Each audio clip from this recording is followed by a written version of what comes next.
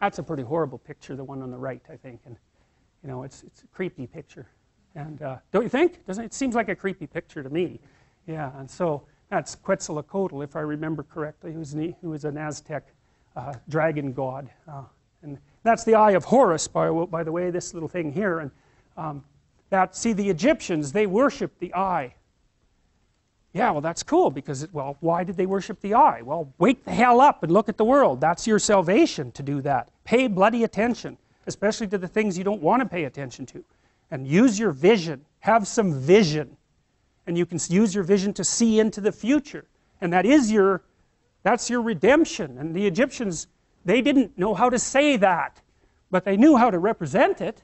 And that's how they represented it. Like the pupil on that is completely open, completely dilated. And that's a god as far as the Egyptians were concerned. It's Horus, and I'll tell you Horus' story at some point.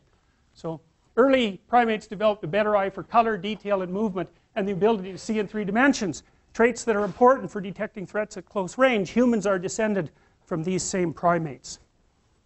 All right. So, now, the initiation. Well, when you go into psychotherapy or when you make any supreme moral effort, which is roughly the same thing, you have to confront that which you do not know. Now, I, I mentioned the pre-cosmogonic chaos and the idea that at the end of Jung's life, he sort of thought of the unconscious and the world as the same. And you think, what the hell does that mean? But here's what it means. So let's say you're in a long-term intimate relationship and you get betrayed. Okay, so what is it that you see when you see your partner at the moment you know of the betrayal? Well, you see the pre-cosmogonic chaos. And here's why. Well, it rattles your unconscious up because you don't know anything anymore. You don't know what the past was, right? You don't know what it was.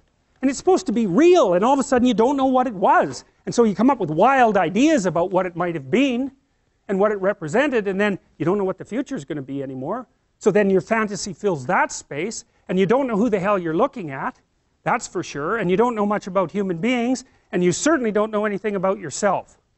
And so all of a sudden, not only is everything in chaos inside your mind, but everything is in chaos in your world. And it actually is, and there's no telling the difference between those two things. You know, and so then you're just sh shattered. And so then you go talk to a therapist for like two years, and you think, what happened? What was the reality? And the reality is, because who knows what the reality was, like, but as far as you're concerned, the reality is, I better represent this properly in my head. I better figure out who I was, who that person was, what we did together, and what it meant, because I do not want this to happen again. And so you're healed when you get to the point where you've grasped the bloody moral of the story. What went wrong? And how can I not have that happen again? Because that's the purpose of learning, right? That's the purpose of memory. It's to prepare you for the future. And so you have to pull out of that massive chaos a functional representation that increases your wisdom so that you're not this naive target the next time you enter into a relationship. So at least you can have another relationship without being so traumatized that you know you you're done. And you know it can take people years to talk that through because this landscape of potential opens up when when they're betrayed. It's like, well, anything could have been the truth.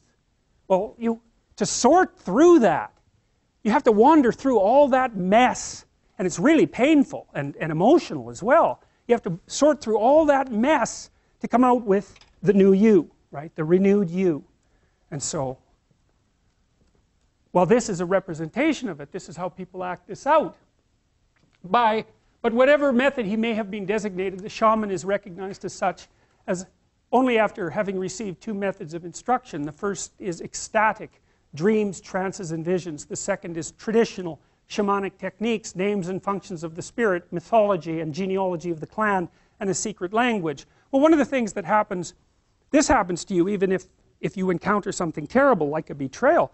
What happens is that you have to take a journey into the domain of morality, essentially, which is, well, how did I act, and how did that person act, and how should have they acted, and how should have I acted? And so, and that's part of your cultural structure.